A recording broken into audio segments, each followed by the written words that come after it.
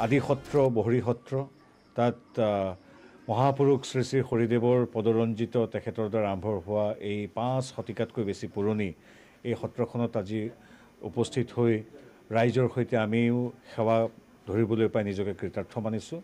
আৰু খুব সুন্দৰ পৰিৱেশ আৰু প্ৰ- প্ৰথমে আচলতে এই স্থানীয় ৰাইজক আমি এগৰাকী নাগৰিক হিচাপে অভিনন্দন জনাম শ্ৰদ্ধা জনাম কৃতজ্ঞতা জনাম। কাৰণ হাজাৰ ধুমুহা আগ্ৰাসন বাধা বিঘিনিক নেওচি এই মহাপুৰুষজনা শ্ৰী শ্ৰী হৰিদেৱৰ এই পবিত্ৰ ভূমি অক্ষতভাৱে ৰাখি আমাৰ নৱবৈষ্ণৱ ধৰ্মৰ যি এক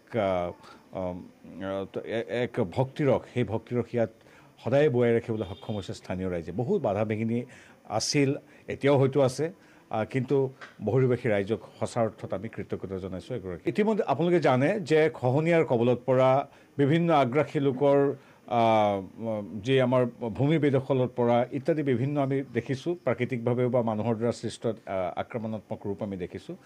সৌভাগ্যবশতঃ ডক্টৰ হিমন্ত বিশ্ব শৰ্মাদেৱ নেতৃত্বাধীন এই ৰাজ্য চৰকাৰৰ এই ক্ষেত্ৰত স্থিতি সদিচ্ছা আৰু তেওঁলোকে ব্যৱহাৰিকভাৱে যি কাম কৰিছে সকলো স্পষ্ট। ৰাইজে দেখিছে কিদৰে নামঘৰ সত্ৰ বেদখল মুক্ত কৰা হৈছে। আৰু ৰাইজে দেখিছে যে প্ৰকৃতিৰ সৈতে মানৱে সদায় যুদ্ধ কৰিছে কেতিয়াবা সফল হয় কেতিয়াবা বিফল হয়।